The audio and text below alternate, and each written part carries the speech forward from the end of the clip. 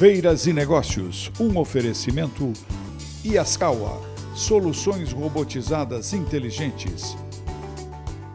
Chegou a garantia Coral, a cor e acabamento dos seus sonhos, ou trocamos o produto para você.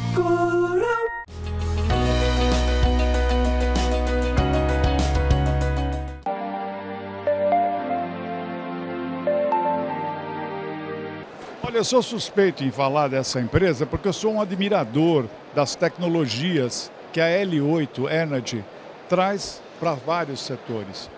O Guilherme Nagamini, que é o diretor da L8, que está aqui trazendo grandes novidades, além dessa telha espetacular, que não precisa de placa, ela já é a placa né, para fazer a chamada captação da energia solar.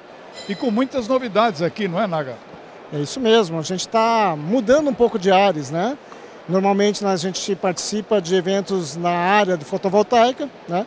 mas como temos uns conceitos diferentes de tecnologia na área fotovoltaica, né? como uma própria telha, a luminária solar, e recentemente estamos trazendo agora o revestimento solar, então fez sentido para nós virmos para a FEICOM né? apresentar esses produtos diferenciados.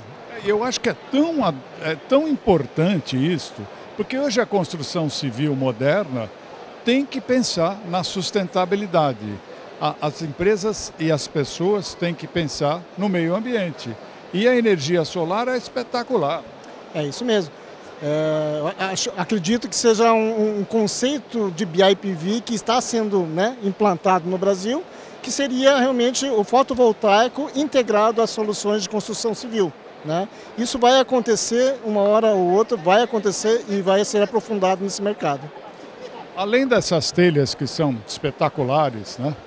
você está trazendo um produto novo aqui, que eu acho que são os painéis verticais para as fachadas de prédio. Sim, é, são os revestimentos né, solar. Tá? Então, você consegue utilizar áreas que você, é, que você tem já pronta, que são as paredes. Né? Hoje você tem um problema, né?